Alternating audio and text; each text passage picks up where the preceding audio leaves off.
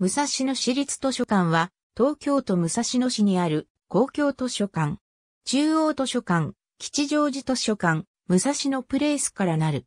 中央図書館と吉祥寺図書館の2館は、市教育委員会教育部図書館、武蔵野プレイスは、公益財団法人武蔵野障害、学習振興事業団が運営母体となっている。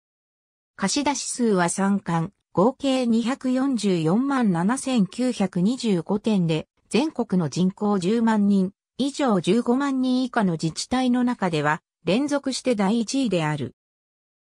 1893年に神奈川県から東京府に編入された北多摩、南多摩、西多摩の3郡160町村は、明治初期の自由民権運動発祥の地で、数々の文化運動の伝統を持つ地域でありながら、1911年の八王子町立図書館設立まで公共図書館は存在していなかった。空襲が激化する戦時下の1945年4月、当時27館あった都立図書館の多くは休館、閉館を余儀なくされていたが、日比谷図書館長、中田国蔵の発案により、焼け残っている図書館の蔵書を多摩地区に移して守るため、町村部の都立図書館を設置する方針が決定される。同年4月30日付で、東京都より多摩地区各市町村長宛てに、三多摩地区に都立図書館を設置し文化開発にし、という呼びかけの文書が送付され、これに対し設置の希望を表明したのが、武蔵野市であった。同年5月7日、日比谷図書館と図書館設置の合意書を結び、四谷図書館と下谷図書館の蔵書から2574冊が武蔵野町に引き渡されたが、開館したのは終戦後の1946年7月のことである。当初誘致予定だった都立図書館は方針変更のため成立せず、図書と書家、カード箱などの備品類が無償で譲渡された形で、武蔵野町立図書館となった。この時譲渡された四谷図書館の蔵書院のある図書は、現在も保存されており、市民に利用されている。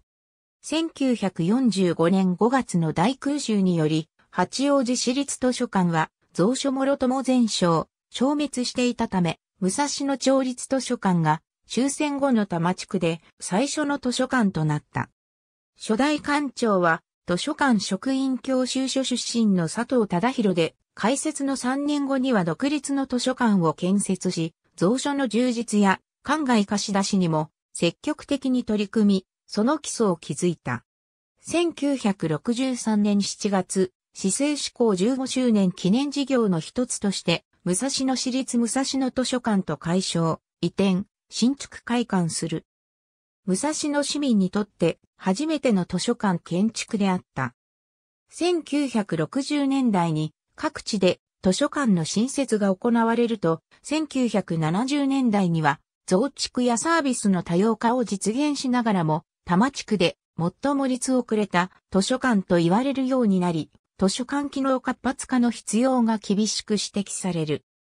特に市の東部地区の文化施設空白地域の解消のため、図書館法で規定された図書館ではないながらも、1982年1月に東町市民図書室、1983年9月に本庁図書室を開設し、市の3地域に読書設備を配置。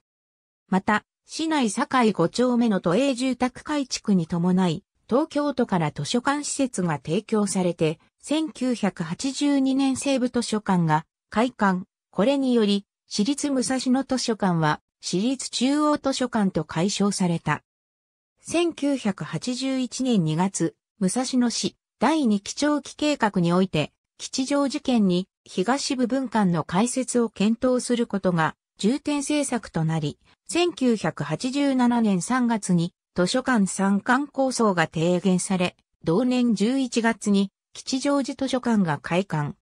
1995年4月には、市内吉祥寺北町4丁目に移転新築した中央図書館が開館し、三館体制が確立した。2001年3月、市は農水省食料倉庫跡地に建設する施設を考える新公共施設基本計画策定委員会を設置、さらに、武蔵野市第三期長期計画第二次調整計画において、武蔵境の街づくりの推進を優先課題とし、武蔵境の地区図書館を中心とした文化施設の建設を進めるとした。21世紀に市民が求める公共施設を武蔵境駅南口に作る構想は、基本計画策定委員会の検討、施設設計プロポーザルの実施を経て、さらなる検討を重ねる。2011年3月に西部図書館が閉館すると、同年7月、その機能を移転し、図書館機能を核とした新たなスタイルの公共施設として、武蔵野プレイスが開館した。武蔵野市立図書館の休館日は、中央図書館と吉祥寺図書館が毎週金曜日、武蔵野プレイスが毎週水曜日となっている。祝日開館を開始した2001年10月9日以前は、市内全館毎週月曜日が休館だった。中央図書館、吉祥寺図書館は1992年に多摩地区で初めて平日午後8時までの夜間開館を開始し、現在に至る。武蔵野プレイスは2011年の開館時より午後10時までの開館を実施している。武蔵野市の在住者、在勤者、在学者及び隣接する三鷹市、小金井市、西東京市、杉並区、練馬区在住者も利用登録ができる。2015年7月、三鷹駅北口と歩1分の武蔵野芸能劇場の敷地内に2台設置された。ブックポスト1995年4月2日、旧中央図書館の約3.7倍の広さで移転改築し開館した。開館時、蔵書の充実とニューメディアの提供という市民の要望を踏まえ、新聞、雑誌、参考図書の充実を図り、国際化に対応した外国図書の収集を開始するなどして、約16万冊の蔵書を揃えた。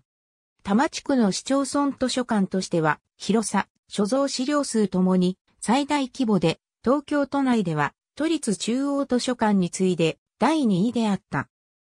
新中央図書館会館により、市長各資料を含む貸し出し点数で全国の同規模自治体で上位となるが、その他にも、要所、外国雑誌のタイトル数や新聞のマイクロフィルムの所蔵など、都市部ならでは暮らしに役立つ図書館として運営面でも評価された。2003年には民間から図書館長を公募し、ジャーナリスト出身の三木幸次郎が就任し、話題となった。その他、子供の読書活動を推進する優れた実践をしている図書館として2002年には文部科学大臣賞を受賞している。2015年には新築会館20年を迎え、関連展示や講演を行った。武蔵野市では老朽化した中央図書館が長年の課題となっていた。吉祥寺図書館開館後を目前に控えた1987年3月、武蔵野市図書館構想策定委員会から報告書、武蔵野市における図書館の整備充実に関する基本構想が提出される。市は同年10月に図書館の整備充実に専門的に従事する職員として民間通信社勤務経験者の船木直を採用する。船木は指揮各部を経て教育委員会に移動後は基本構想の研究を行い、1992年4月から新中央図書館オープンまで建設担当を務めた。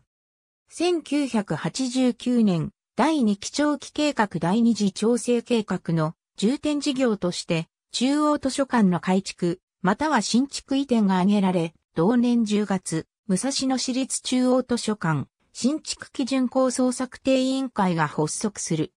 同委員会は、約10ヶ月にわたって、望ましい図書館像について、検討を行い、その間に教育委員会が市民1300人に対してアンケートを取った。これを受けて、1991年1月に武蔵野市立中央図書館建築基本計画策定委員会が発足し、同年6月には図書館の利用者、ボランティア、目の不自由な人、PTA や学校関係者、コミュニティセンターなどの代表で構成される懇談会が発足。それぞれの検討を踏まえて、基本設計と実施設計が作成され、移転改築に決定。1995年4月に新中央図書館が開館した。初代館長は船木直。船木は設計者の鬼頭あずさに参考図書を4000冊を置けるように依頼するなど、レファレンス機能を重視して選書を行い、参考図書、基本図書を中心に蔵書を充実させた。設計は吉祥寺図書館同様、鬼頭あずさ。1階南に設けられた大きな吹き抜けや高い天井、1.2階投資の巨大なガラスは前提との一体感を感じさせ、開放感を与えている。現代的素材と昔からの素材の調和を図り、機能的かつ素材の美しさを活かした建物を目指して設計された。古くから地域の公園を従来の役割を残しながら図書館にふさわしい前提へと作り変えている。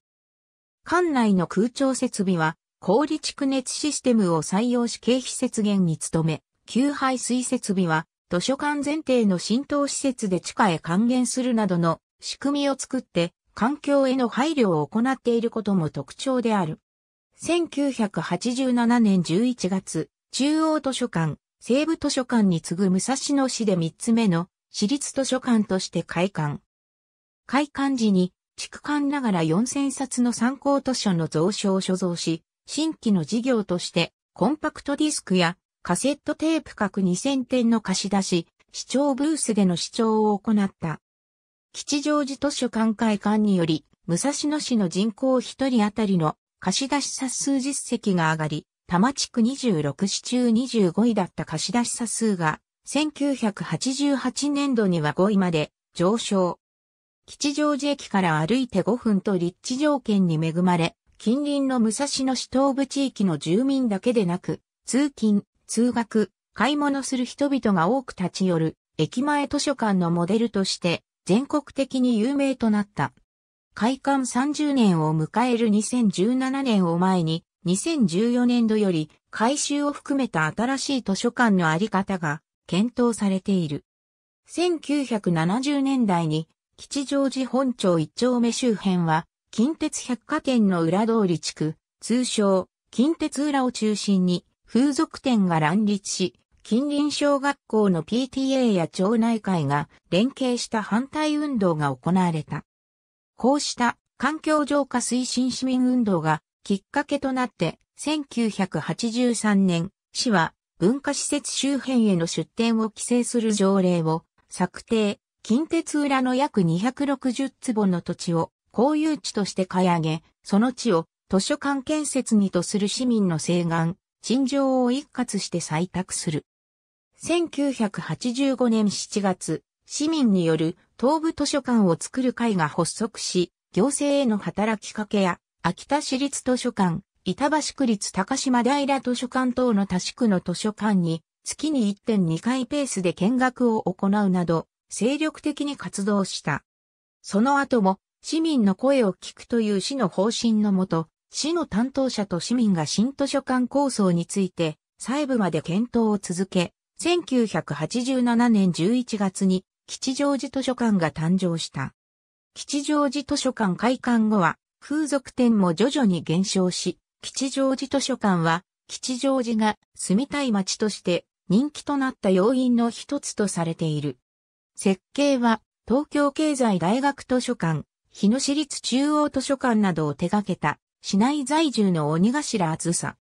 吉祥寺の市街地内の狭い敷地条件にありながら、その欠点を補うように図書館機能をコンパクトにまとめ、利用者や職員が使いやすいように動線が整理されている。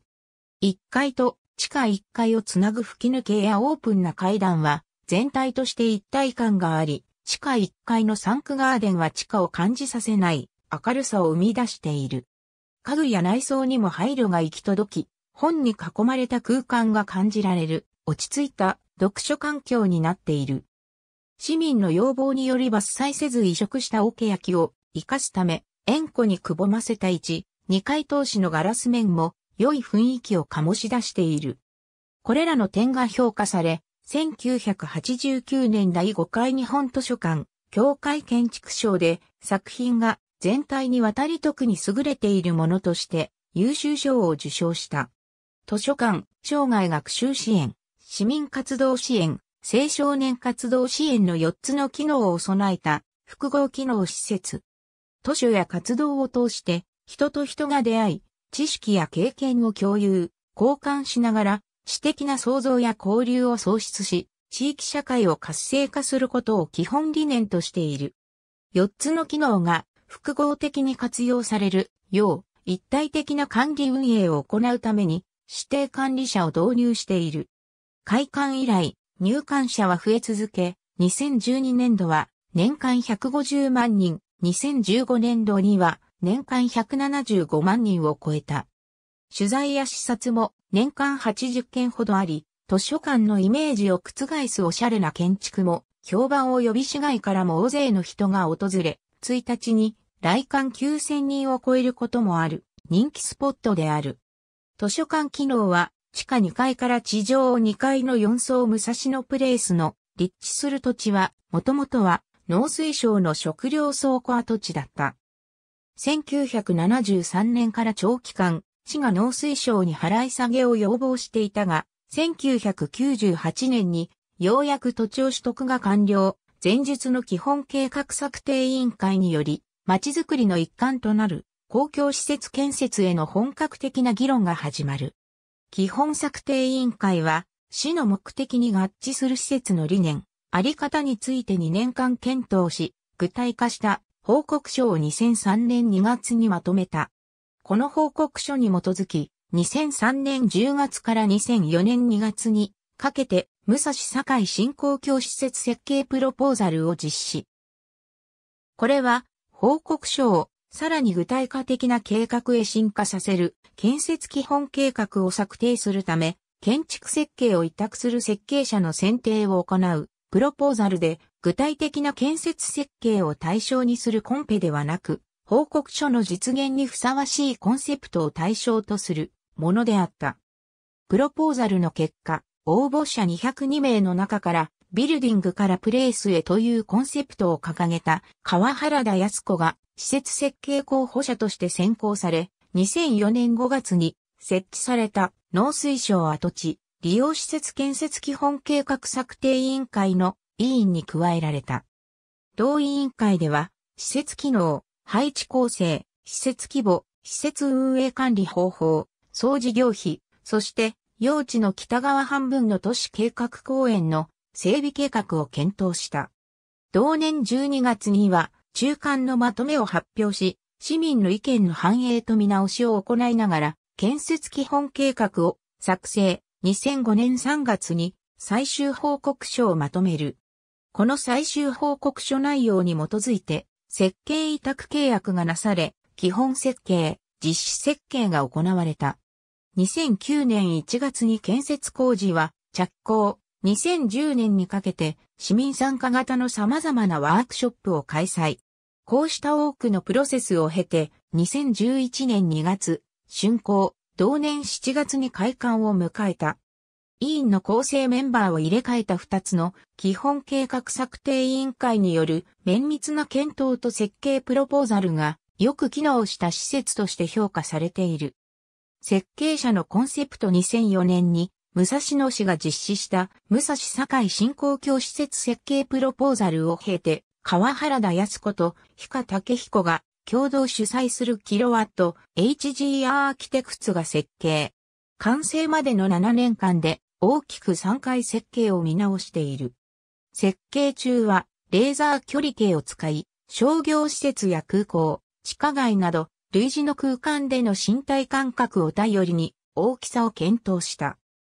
特定の目的がなくても市民が気軽に集まり、居心地のいい空間を選べる場を作る、丸く切り取った開口部で空間を絞り込み、そこをくぐるとパッと視界が開けるようにしたなど、武蔵野プレイスの4つの機能を区切るのではなく、あえて入り混じったものとして捉え、全体がまだら状につながったものとして考えるという方法で、様々な活動が同時存在する様をそのまま空間化し、本来的な意味での公共性を生み出すプラットフォームを目指した。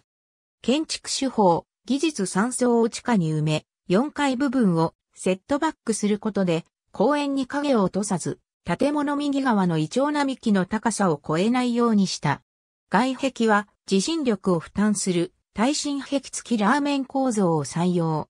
白い外壁は漆喰の小手磨き仕上げで汚れ防止のため光触媒を塗布している。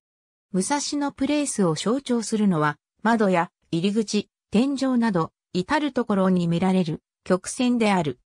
各部屋はこの丸みを帯びたルームと呼ばれたシェル状のユニットの集合体で構成されていて、グリッド状に仕切られているが、天井や壁の接合面に丸みをつけたことで境界が曖昧になっており、目的の部屋に行くには、関係のない部屋を通らなければならない。自分の意図しないシーンに出会う効果を生み、回遊性、連続性を重視する、武蔵野プレイスの理念を具現化している。角の内角空間の天井の四隅は、球体8分の1の GRG ユニットを工場生産し、現場で吊り込んで仕上げている。開口部の高さは2.3メートルで、吹き抜け部から違う、機材橋の図書館の様子が、うっすらと見えるなど、閉塞感を感じさせない。隣接する部屋同士は、天井や壁の色を微妙に変化させたり、初夏は圧迫感を与えない高さに設定するなども工夫されている。建物北側にある約2000平方メートルの公園建物との一体感を重視し、建物と同一設計者に設計を依頼した。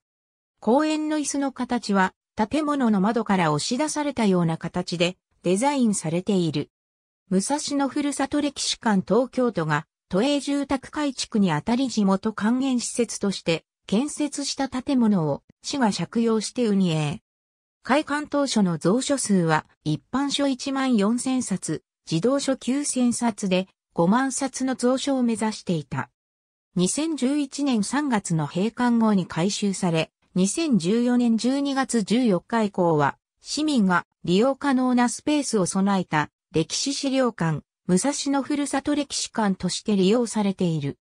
図書室と集会所を兼ねた施設で、蔵書は3300冊、地元市民からなる東町市民図書室協議会に委託運営された。私立第一小学校の学童クラブ内に併設された図書室で蔵書は3500冊、私立図書館が管理運営した。ありがとうございます。